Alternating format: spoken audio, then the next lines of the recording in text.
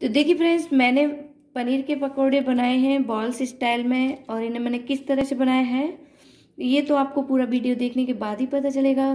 तो फिर किस बात की देरी दोस्तों? चलिए बनाना स्टार्ट करते हैं। Hello friends Khushi all in one channel में आपका स्वागत है। तो देखिए फ्रेंड्स मैंने पनीर के पकोड़े की रेसिपी अपने चैनल पर शेयर कर रखी है।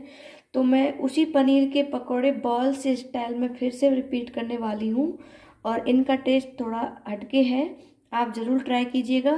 तो इन्हें मैंने बनाने के लिए क्या क्या सामान लिया है, चलिए मैं बताती हूँ।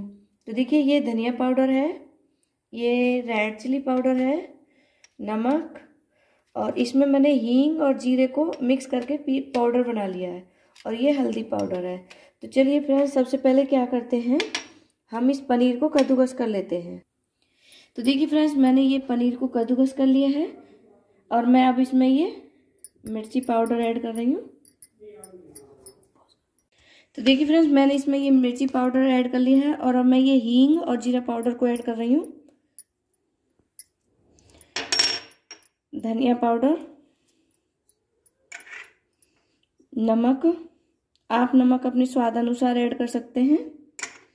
और थोड़ा हल्दी पाउडर, ज़्यादा ऐड नहीं करना है हल्दी पाउडर भी। अब देखिए फ्रेंड्स, मैं इसमें ये बेसन ऐड कर रही हूँ।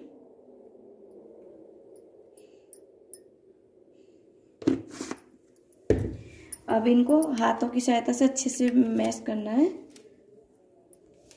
तो देखिए, मैंने पनीर और बेसन को इस तरह से मिला लिया। अब मैं इसकी छोटी छोटी बॉल्स बना लेती हूँ।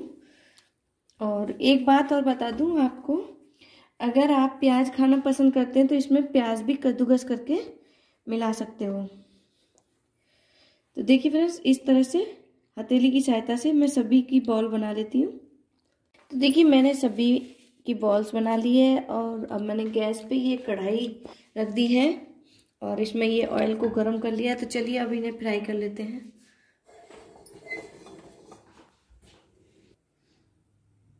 तो देखिए, मेरा ऑयल गर्म हो चुका है। अब मैं इसमें ये सारी बॉलों को एक साथ डाल के फ्राई कर लेती हूँ।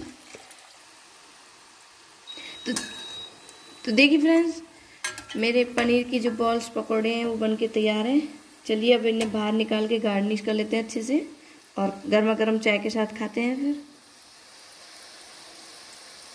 तो देखिए फ्रेंड्स मेरी गर्मा गर्म पनीर बॉल्स स्टाइल पकौड़े तैयार हैं बन के और आप इन्हें चटनी, खट्टी मीठी चटनी के साथ खाइए। और देखिए मैं आपको एक खोल के भी दिखा देती हूँ कि कितना अच्छा बनाया है। आप देखिए अंदर से। एकदम क्रंची और सॉफ्ट आप देख तो दोस्तों, आपको मेरा ये पनीर के पकौड़े बनाने का स्टाइल कैसा लगा, मुझे कमेंट सेक्शन में ज़रूर बताएँ। और मेरे चैनल पर अगर आप पहली बार विज़िट कर रहे हो तो सब्सक्राइब करना ना भूलें। टेक केयर बाय बाय फिर मिलते हैं नेक्स्ट वीडियो के साथ।